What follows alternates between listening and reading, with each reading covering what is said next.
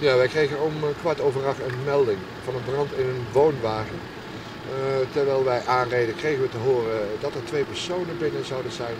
Eh, veel rookontwikkeling. Op die basis heeft de eerste uh, tankautospuit beslist middelbrand. Dat betekent dat er een tweede auto ter plaatse komt. ter plaatse aangekomen, inderdaad veel rookontwikkeling, veel hitte.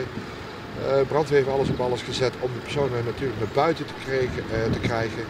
Uh, gelukkig bleek er maar één persoon uh, binnen te zijn. Dat was een jongetje van vijf. Alleen die heeft de brand niet overleefd. Ja, je kunt zich voorstellen dat hulpverleners natuurlijk uh, dit ook een, dat ook een grote impact is voor de hulpverleners. En die worden ook natuurlijk opgevangen. Ja.